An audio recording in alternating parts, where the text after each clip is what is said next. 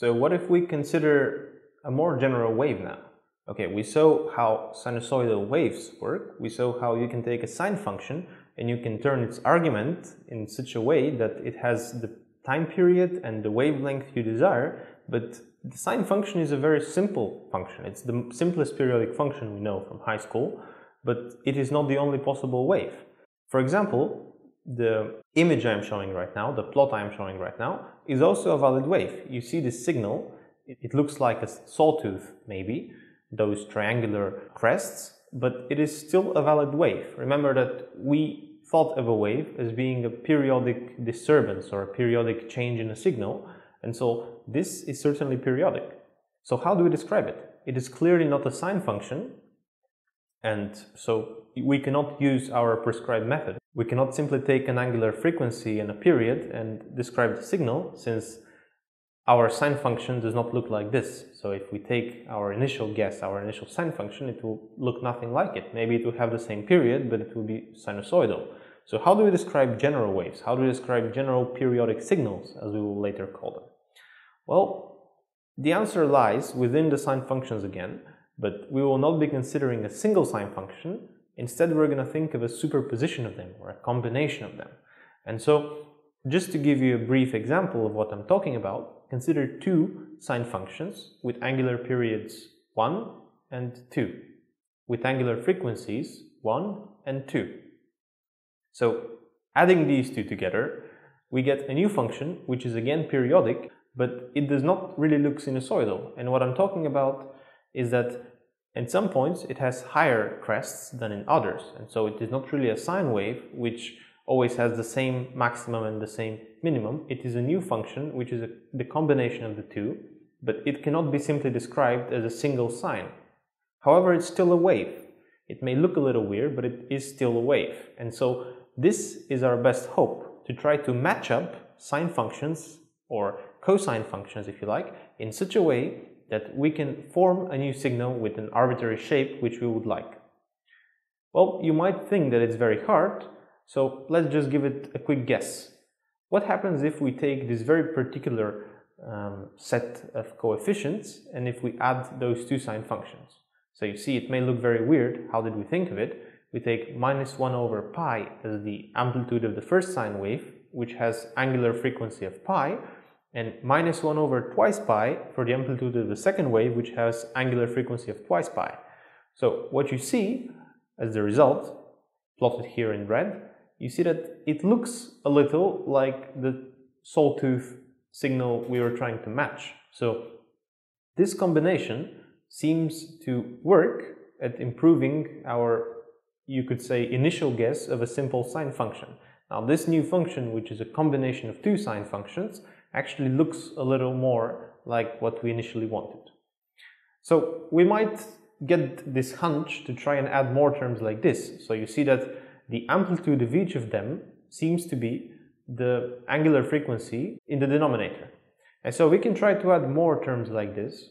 We can try adding them as many as 6 or as many as 10 terms like this. So you see we, the general thing that we add is an angular frequency which is an integer number of pi and we add an amplitude which is 1 divided by it with a minus sign.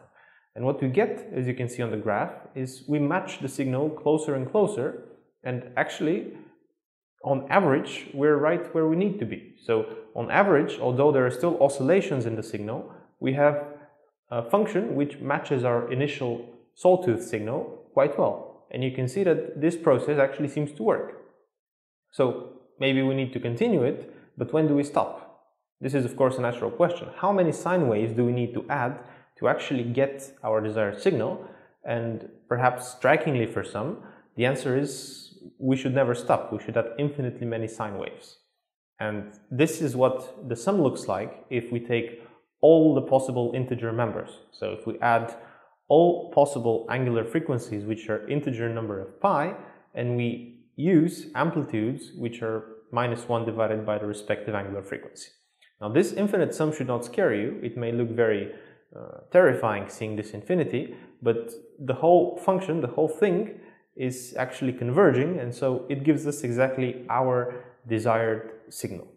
Now you may think, oh, how am I supposed to add an infinite number of terms? How am I supposed to add an infinite number of sines? Well, nobody really does it, but in practice, if you need to get the signal matched close enough, you can always add a few more terms in a computer. For example, if you take 50 or 100 or 200 terms, this will, for all intended purposes, be good enough so that there is virtually no difference between the actual signal and the one which you're describing through a superposition of sine waves. And so the general lesson that we learn and the general statement which we can give right now is that a general periodic function, which has a period of t, can always be given, can always be created as a combination of sine and cosine functions in such a way as I have shown on the slide. So it is a superposition, what we call it, of a constant term plus an infinite sum of sine functions and an infinite sum of cosine functions, but all of them have a specific relation in their angular frequencies. And so you can see that the nth angular frequency is actually twice pi over t multiplied by this n, which is always an integer. And you may think that, okay, how did we guess that? You may be thinking that we're very good at guesswork to get exactly the, these coefficients, which are generally unknown, but the truth is that there is a very simple way of deriving it. And for those of you who look into the supplementary material to this video, you can see that you should simply know how to integrate sine functions together and you can immediately derive the following result, that the coefficients are actually uniquely determined and they can be easily determined and no guesswork is really required. Now, decomposing a function, a general signal, which is periodic, in such a way, decomposing it into its cosines and sine components and finding the coefficients which correspond to them is known as Fourier series. And so this representation of a function, this way of writing a function as the sum of cosines and sines, is known as the Fourier series of the function itself. Now, don't be scared if you do not know how to integrate, don't be scared of these perhaps mean-looking uh, expressions. In practice, you can integrate any such expression on a computer. In practice, some of those integrals may not be exactly solvable, but computer systems allow you to numerically integrate them in such a way that you can always find the coefficients, as bad as they may look, and decompose a periodic signal in its component sines and cosines. Now, just to give a brief overview of some of the most used signals, first of all is the sine wave, which we were dealing with initially. It is, of course, its coefficients are just one coefficient because the whole sum reduces to just one of its members. So if you want to describe a simple sine function, all of the an coefficients and bn coefficients which we earlier saw, they're simply zero except for one which corresponds to exactly this sine function. Of course, as we said, this is quite a restriction. Generally we have square impulse, we may have triangular impulse, we can have this sawtooth impulse which we looked at a while ago. But the good news is that however ugly your function may look, however ugly the signal is, as long as it's periodic, you can always apply this algorithm and you can always decompose it into its base sine functions or cosine functions respectively. And so, Fourier series is, and Fourier analysis in general, is the process of taking a general signal, decomposing it in such a way finding the coefficients and so representing it as an infinite sum, usually infinite, generally.